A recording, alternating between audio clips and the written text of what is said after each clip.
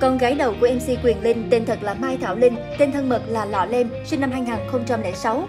Gần đây, Lọ Lem đăng tải loạt ảnh trong chuyến du lịch Hàn Quốc. Bài đăng của cô nhận vài chục ngàn lượt tương tác và rất nhiều bình luận tích cực. Ở tuổi 17, Lọ Lem ngày càng xinh đẹp, ngoại hình mảnh mai, phong cách ngọt ngào, được khen có lối sống giản dị, hòa đồng. Lọ Lem được nhiều nhãn hàng mời làm người mẫu quảng cáo.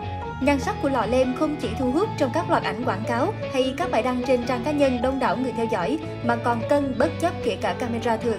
Mới đây, MC Quyền Linh và con gái bất ngờ lọt vào ống kính của team qua đường. Gây chú ý trong khung hình chính là chiều cao vượt trội.